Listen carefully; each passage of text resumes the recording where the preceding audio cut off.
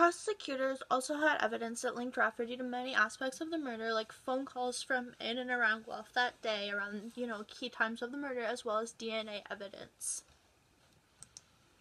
So, Tori's autopsy revealed many things about her death.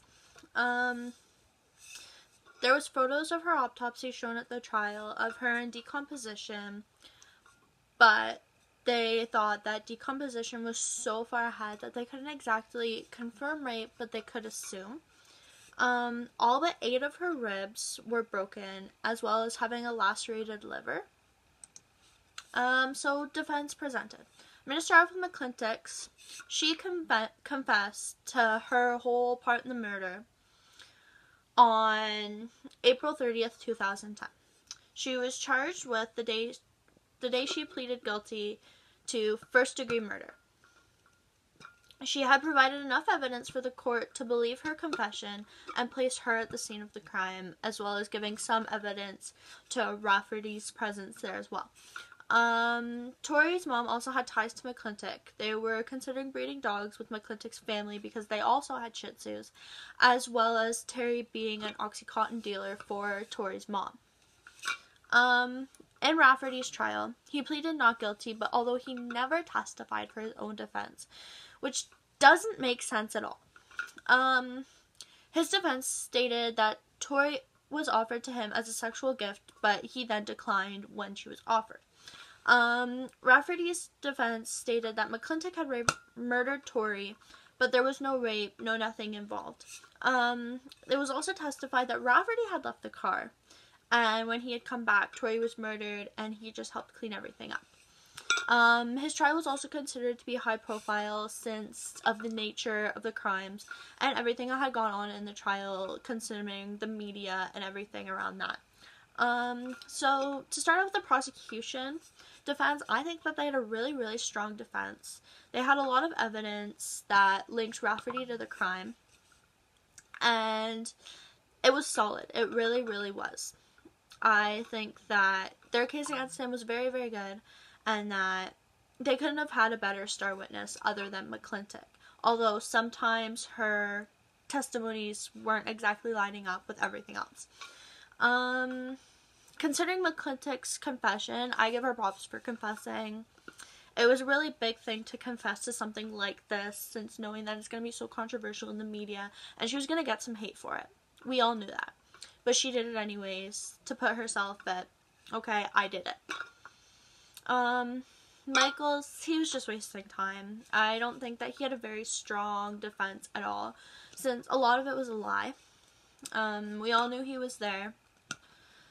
And I think he was just wasting more time by saying, like, I didn't do this, even though he never actually testified for himself. Um, move on to the decision and the verdict surrounding the case. After McClintic pleaded guilty, she was sentenced to life in prison without parole for 25 years. Um, she was only found guilty on her credibility of her confession.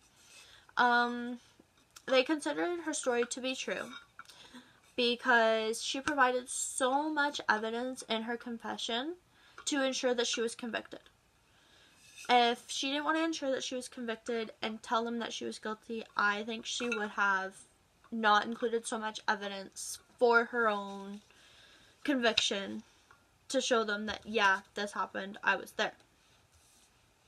Um, it is to be noted that before we move on to Rafferty, that there was some inconsistencies with McClintic's story for Rafferty's trial and her confession, like I said earlier. Um, Michael's trial happened in London. They thought that in Woodstock he wouldn't get a fair trial just because that's where everything kind of started and he knew so many people there. Um, there was evidence found, including pornographic related material, on his laptop, but it couldn't be considered in the courts because there wasn't a proper search warrant for the police to find this.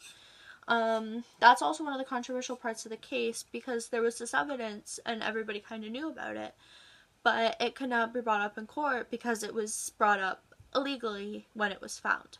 Um, Rafferty was found guilty of her murder, the rape that caused bodily assault, as well as the kidnapping of Tori. He was given the same sentence as McClintic. Rafferty's verdict was supported by the evidence, Judge Heeney said, which was the judge that did Rafferty's case. Um, next, we're going to move on to the aftermath of everything that happened in this case. Um, Tori's mom does her best to avoid a lot of things that have to do with the case. Um, things like hammers and garbage bags, obviously, because those were the things that were used to murder her daughter. Um, she's become a doula ever since then. She got a new job, which is helping people birth their babies, and she feels like she could do it because of her daughter and helping people.